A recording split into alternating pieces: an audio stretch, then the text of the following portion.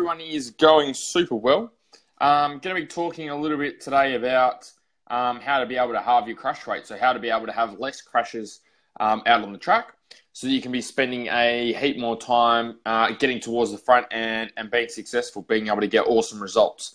So, the, the biggest thing with, uh, with crashing, okay, is, is a little bit of reverse engineering. So, finding out how that crash happened. Now, if you ask a lot of racers, um, obviously speaking to a lot of riders and racers, um, you'll find they say, oh, they made a, uh, they took the wrong line. Okay, the front, um, hey Christian, the the front wheel jumped out of a rut. Okay, they went over a berm, whatever it is, but something along the way has led to this accident happening. Now I know that there are um, crashes and, and things like that before we go in depth. Okay, that you just can't avoid. Okay, like if someone lands on top of you or someone comes and runs into you, um, like impact injuries are things that we can't control. But what we can control um, or at least try and improve a shit ton, um, is the amount of time that we do crash. Okay. So, what we want to be able to, hey, Maddie, hey, Christian, what we want to be able to focus on is what's led up to that point. Okay. And what's happened at that point in time.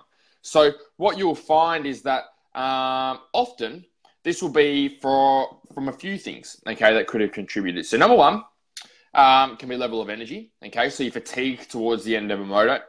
Um, could be your level of focus and concentration. Okay. Um, and could also be your, your level of fitness. Okay. Your level of strength, your level level of conditioning. Now, these three all correlate together. Okay. Um, there's not just one, one single thing. So, what starts to happen with our riding and racing is that when our energy, uh, definitely, Anthony, fatigue is definitely one of the bigger ones. So when we when we get to towards the end of the race, we've been busting our ass all day, okay, busting our ass all race to, to do well, to be able to do as best we can and, and hold our position or make up positions. Um, obviously, we start to we start to burn through a whole heap of energy. Okay, um, and when we don't, when we start to burn through that energy and we haven't fueled ourselves correctly, we haven't put in the right food, we haven't been drinking the adequate amounts of water, we haven't been retaining that water. Okay, um, and we haven't educated ourselves on that. What starts to happen is our brain um, doesn't focus as well. Okay, so it takes a lot of energy, both mentally and physically, obviously, to race. Okay, and to be out on the bike and exert that level of effort. Now, the big thing that that um, we need to take note of is that me- our mental performance is the most important. Okay, when we perform mentally well, the rest of our body is going to be able to perform well. Mentally, when we're not we're not with it. It doesn't matter how fit, how strong you are. If this isn't working properly, then we're going to have dramas out on the track. So one of those common areas is that a level of focus throughout the, the race, throughout the day, um, will start to deteriorate, will start to drop off. Okay, won't be as good as what it was at the start of the day. Um, and that's something we want to be able to improve and something we want to be able to make better. Um, and that all comes down to your preparation, okay? What you've done prior to that race, making sure that we're eating the right stuff, making sure that we're, we're recovering adequately.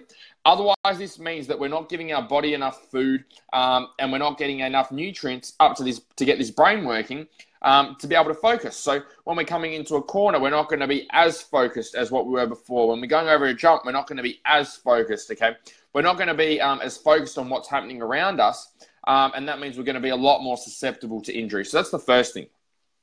The next thing to be able to look at is also oxygen. So our brain uh, works with oxygen. Okay, as soon as that air is start to cut off, we're not as efficient with taking oxygen in.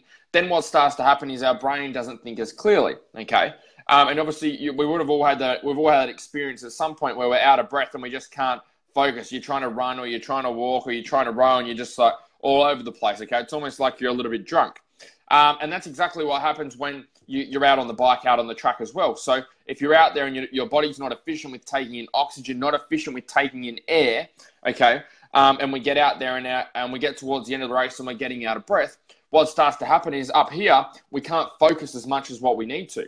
Okay, um, we can't keep our mind on. We can't make um, the best decisions possible. Okay, and we want to make sure that when we're out there on the track, that we put you in a position to be able to make the best positions, to, to make the best, the bet. I'll get it out eventually.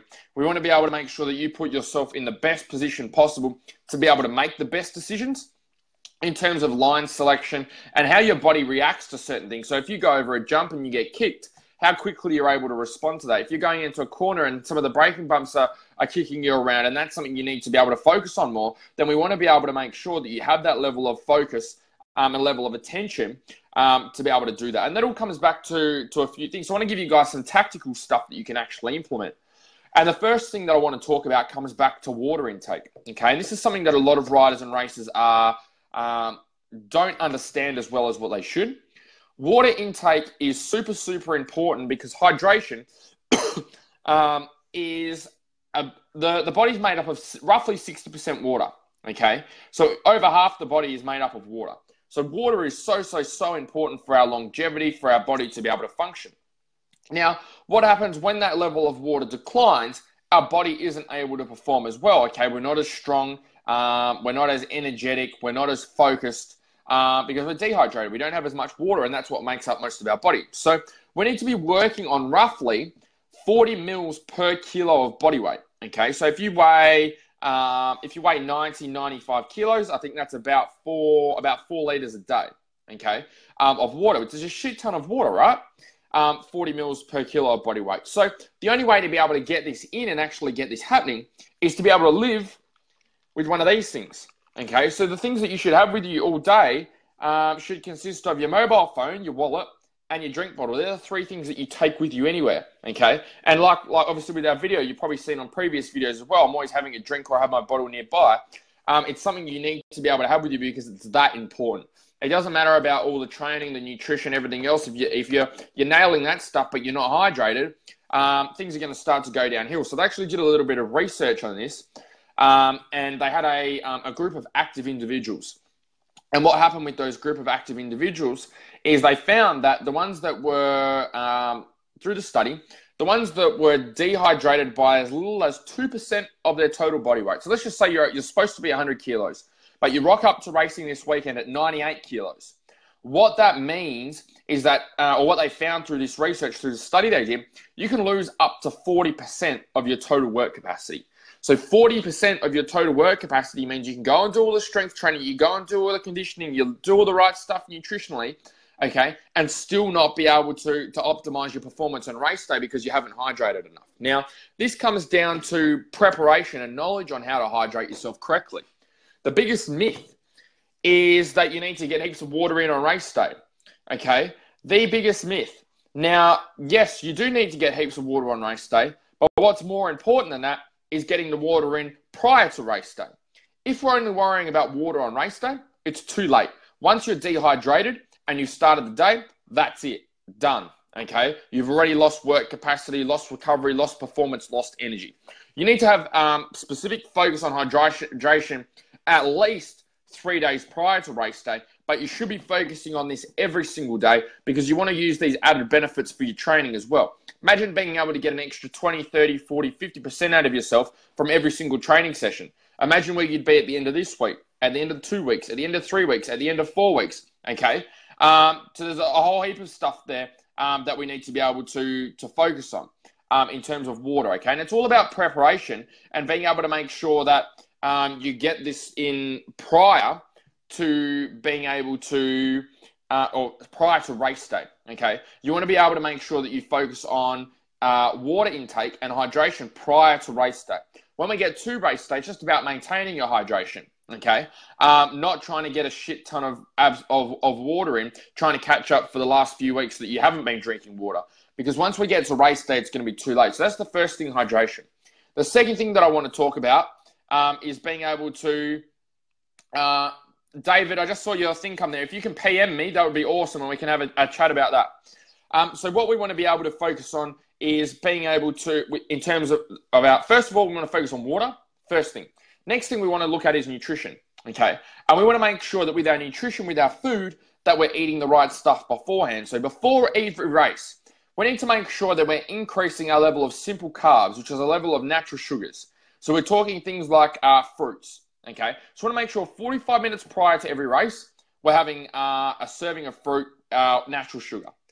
After every race, we want to make sure that we're, t- we're recovering. Okay, now the biggest mistake on race day is that everyone always feels good at the start of race day. Okay, because you're fresh, you're ready to go, um, you haven't done anything yet. But what we need to know is we need to know in advance that when we get to to race three, um, or race four, depending on how many races you've had. Okay, motocross, enduro, whatever we're doing, road racing.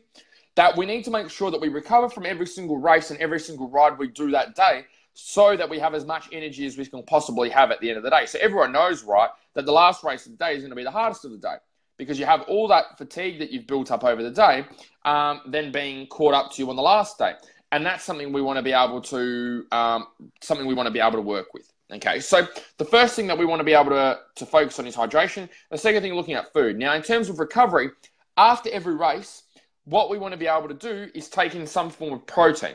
Now, the best way to be able to do this, and what we do with our guys in their, um, our motorsport development program, is we actually get you to uh, taking a protein shake. Okay, and that protein needs to be from a natural source. Um, so, sorry, not from a natural source. Needs to be the protein powder needs to be uh, natural in terms of just protein powder. So no fillers, no other things in there um, that are affecting your performance that are going to um, put chemicals into your body like preservatives and carbohydrates and sugars and all these things. We want just protein. And that is the most important thing. So we need to make sure that the, the benefit of having the protein powder is its speed of consumption. Okay. Speed is the most important thing when we're looking at recovery. We need to make sure that we get you into a anabolic state, which is where we can actually use the protein to help you recover, help your muscles repair, and be able to continue for the rest of the day.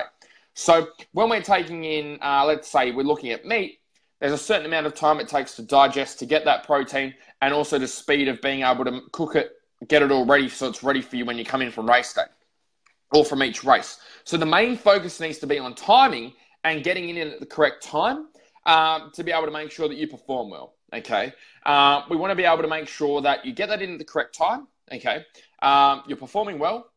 Um, and that is the most important thing. So as soon as you come in off the bike, you take in that protein um, and you have that with water as well. So that's your, your energy requirements and your level and your recovery as well. Um, that we need to be focusing on to be able to make sure that you make better decisions. So, in terms of decision making out on the track, we need to make sure you're fueling yourself correctly. A lot of people, a lot of riders and racers look at strength training and conditioning and nutrition as something that's going to help them to perform better, which it will, but it's also going to prevent accidents as well. If you don't want to be hurt, if you don't want to be in the hospital, if you don't want to be injured, then that's something you need to be able to focus on as well to be able to make sure that you can get the best out of yourself. You can prevent any injuries and accidents. And by doing that, you also improve your level of success that you're able to achieve because you're able to be more consistent with your training. If you're always having accidents and getting hurt, ending up in hospital, having injuries, then you're not going to be able to ride as well. You're not going to be able to have the amount of time on the bike that everyone else is getting. Um, and we want to be able to make sure that we maximize that. So, they're the two things I wanted to talk about today, guys hydration, one, and two, looking a little bit of basic nutrition in terms of race day and what you need to be able to do there. So, water intake, we're looking at 40 mils per kilo body weight um, on average. Okay, so that's something you need to be able to work on. You need to be able to make sure that you have one of these things near you all the time. So if it's not near you right now while you're watching this live stream, then that's something you need to be able to fix as well um, to be able to make sure that you can get everything on track. And, and now's the time to be able to do that. It's coming towards the end of the season. This is where you need to have the focus on being able to make sure that you can um, you can get everything nailed so that when race season comes next year, you're ready to go. Not still trying to figure all this stuff out. Um, so we have our we actually have our motorsport development program kicking off next Monday um, our next intake, and there's a couple of spots left for that. Um, so if any of you guys, first guys, to be able to um, to PM me, if you're someone that we're able to work with and take on board the program, um, then uh, then we can see what we can do there. So if you can send me a uh, anyone that's interested in jumping on board, um, we're kicking off next Monday. Um, we'll need to have a, a, chat first, a bit of a call um, to be able to see if you're someone we can work with.